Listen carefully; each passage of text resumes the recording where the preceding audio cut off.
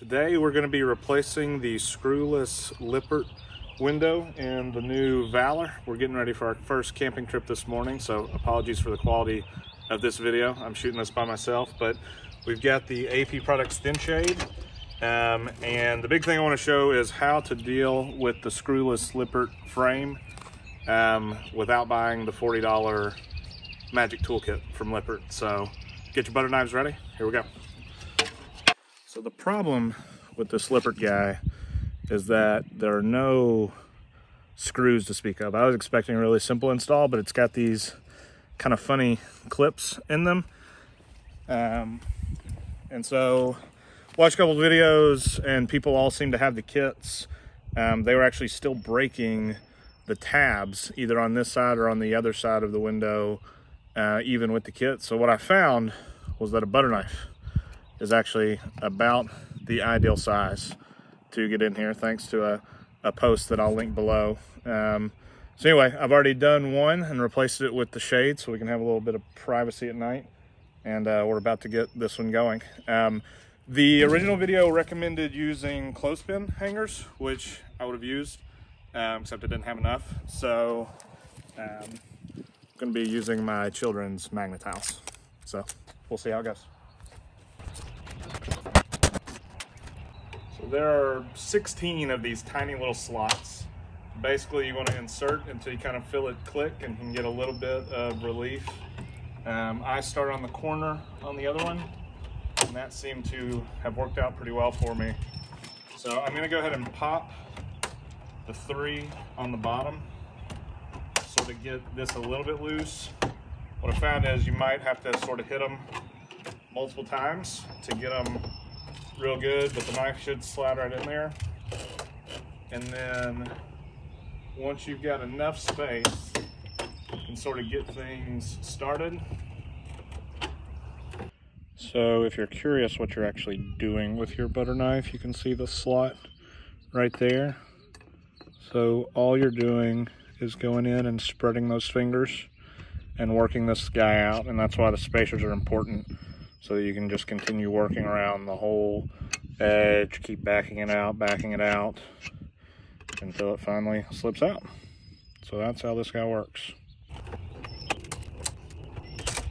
Get your first Magna-Tile in. And then from there, just start working your way around the edge.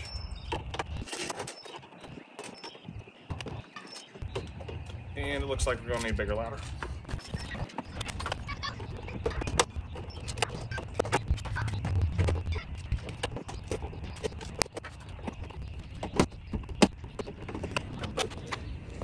Important to have enough of these.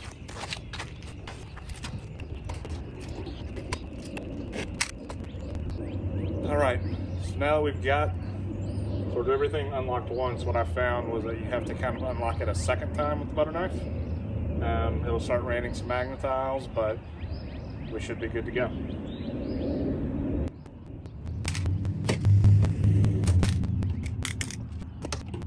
All right, so this side's pretty much out.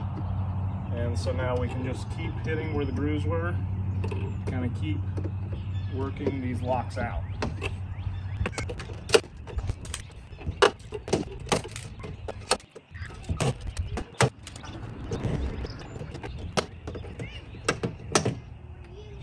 There you have it.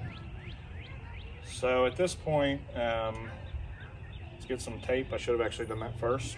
Make sure this glass doesn't fall while we pull this out. There's gonna be caulking all the way around on the other side that um, pretty sticky on this brand new unit. So we'll uh, get going on that.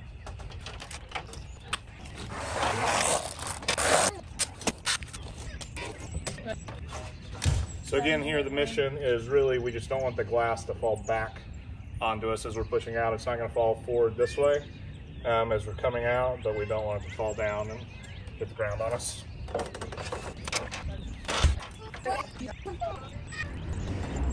So not really a weak point that I can find. Um, so we're gonna go back in with our trusty butter knife and see if we can get it started up here in the corner.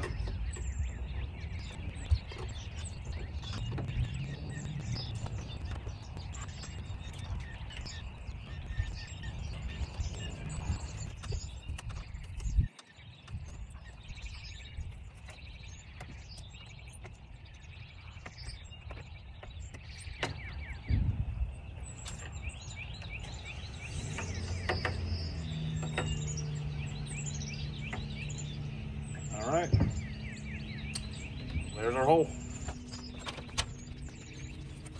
There you go. Again, no damage to anything on the old window.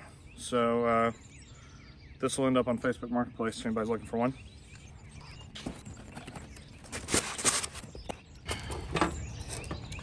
So at this point, this is the inside frame. So go in that way, and we've got the glass on the other side. We're gonna clean up um, where the old seal was around there first. Just using some Windex for this.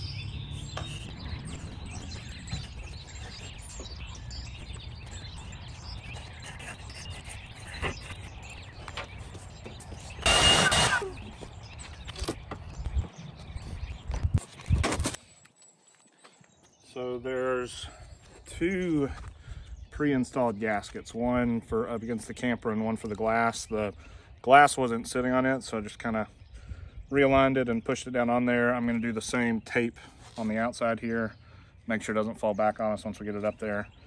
Um, but we're ready to start putting her in. So the next thing we've got to do is actually install the blind. It doesn't come pre-installed, but there are some holders uh, in here that just kind of snaps into. It's important to get this in the right place and get this the right side up. It's not necessarily super intuitive, but basically um, the thick part would be the top so that you can hide your blind when it's all the way up. And so all you do is take these guys and snap them in here see if I can do that standing up here. This is really a two-person job, but we're gonna make it happen.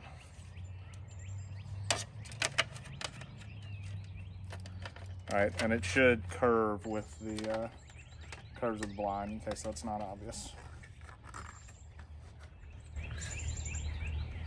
All right, cool. So we've got a shade, we've got glass. Let's go uh, stick it together. All right, I'm gonna put this in first because it does have a little bit of tackiness and uh, I think it'll stay. If not, we'll be buying another window. Side note, uh, unlevel driveway, not the best decision for where to do this. One other thing, the there's a mark on the tempered glass, that's the bottom.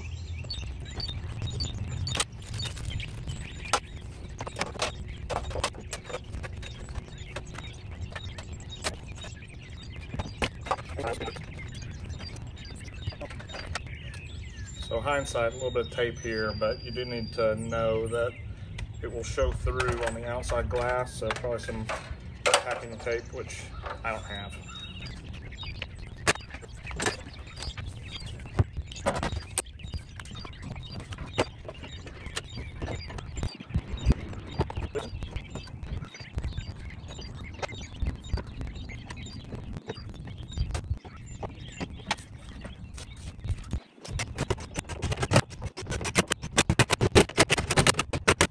All right, that's it.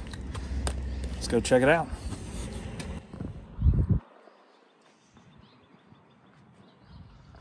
So, you know, from the outside, no real difference.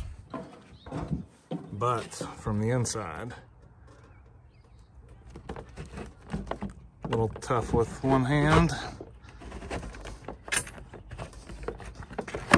There we go. There we go blacked out.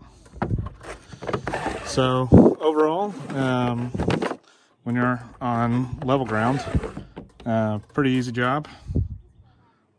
Here on the driveway of debris, not so easy. So thanks for tuning in.